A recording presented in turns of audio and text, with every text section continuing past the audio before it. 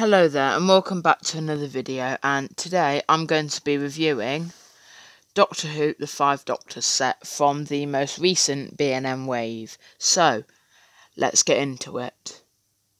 So, I got this set uh, for Christmas this year, 2020, uh, Christmas 2021. Um, and uh, it's a pretty, pretty good set. Um, so here we have the third Doctor. Again, I'm just going to mention it in case you haven't seen my Christmas haul video, which I really recommend you, you go and see.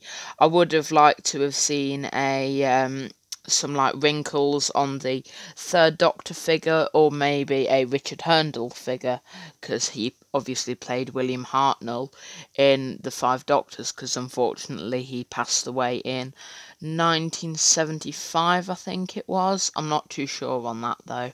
Um, but I love the outfit, and it's a great recreation of the figure there. Um, and it's, I think it's a re- repaint of um, the Talons of Weng-Chiang figure that was released in 2020, and the head sculpt is a re-release from the Monster of Peladon set in 2020. Oh no, sorry, the Talons of Weng-Chiang was released in like 2018 or 2017, I think. Um, and here is the Rassilon robot. Uh, it's just a repaint of the um, Cyber Guard Warrior from Earthshock. It's just a repaint of that figure.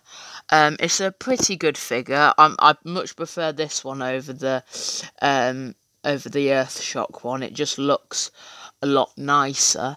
Um, and I think uh, I know the Earthshock one does, but I think uh, these come with a spare set of hands. I'm not too sure on that, so we'll have to have a look when we take it out of the box. Um, but yeah, pretty good figure. Um, let's get on to the last and certainly not least, the Cybermen. I would have liked to have maybe seen, obviously, the Richard Hurndall figure, um, or um, I don't know. I don't know what other figure could have been in there. Maybe a Sarah Jane, a Brigadier, maybe maybe one of those. Um, but it, I think it's a really really good figure. Um, and obviously it's the cyber Cyberman version, not the Cyber Leader. I couldn't track that one down, so I might have a look for that uh, on eBay. Um, but I, I am really glad I've got one of these because it's my favourite, my second favourite classic. Uh, who's Cybermen after the Mondasian Cybermen. And down here, I'm not sure if uh, the camera can pick this up, but it is the uh, Cyber uh, the Cybermen's gun there. I don't know if you can see that. Um, but yeah, that's that's it for the packaging. Let's take a look at uh, the actual figures. Oh, but before I do, I need to turn onto the back, and obviously there it says, uh, come on, focus, focus, there we go, Cyber, there it says Cyberman, with uh, the Cyberman there, Third Doctor, there, and the uh, Rassilon robot. Um, I, I think it does come with the uh, different pair of hands because obviously there it's stood in a different pose. But there's only one way to find out. Let's open the box. So here they all are out of the box, and what can I say? They are some amazing figures. First of all, unfortunately, uh, this figure doesn't come with any swappable hands. Um, but what is interesting is, as you can see by the joints there, um, it, it can move uh, all 360 degrees, which is uh, re- which is really good. But I won't be displaying it like that. Um, so over over here we have Jon Pertwee again, a pretty standard figure. Uh, you can't really move the arms because the cape is restricting it. And please don't fall over. Thank you.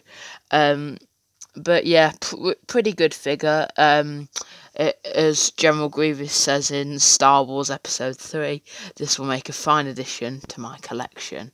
And finally, which was probably the main thing which attracted me to wanting this set, was uh, a Earthshock Cybermen. Um, so uh, here you have that little panel which um, the Fifth Doctor presses Adric's star on. Um, and there uh, we have his face. You can see like the little mouth there, and there on the season 19 collection box set, um, you can see that um, like one of the mic pieces had fallen down, and uh, the Fifth Doctor had to try and rescue it, and it was uh, pretty funny. Um, and here is the cyber gun. Uh, I don't really want to take it off because it's literally took me like 15 minutes to get it in a position that I was happy with. So um, I'll just uh, show you like this. So uh, here we have uh, the gun. Um, I'm surprised.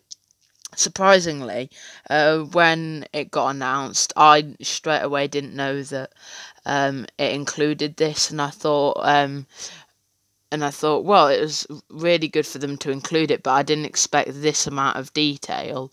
Um, as it was on all like the original release back in like 2011 i think it was. Um, but yeah there is quite a lot of detail there. Obviously you have the red strip uh, there where which lights up um, not on the toy but it lights up in uh, the show um, and the strap and it comfortably fits on one of one of the cyberman's shoulders. Um, but yeah, I think this is a really great set to get. So now on to my overall thoughts. So, what do I think of this set? I think it is absolutely amazing. Um, if uh, if you are planning to get this set, I would definitely recommend. It is in most uh, B and M's, um, and I would definitely recommend getting it before um, before it sells out. Um, but yeah, great, great figure, high, great figures. Highly recommend them, and um, I definitely think they should make more unique uh, figure packs like this. And uh, as of like in January, um, uh, K1 and Fourth Doctors are going to get released, and I'll be definitely getting that because I've wanted a K1 figure for ages. So, um, so I'll definitely be unboxing that when I get my hands on it. So, um, let me know what you think of this set in the comments section down below. And um, have you got any uh, of the B&M sets? And did you get any, what Doctor Who gifts did you get for Christmas? Let me know in the comments section down below.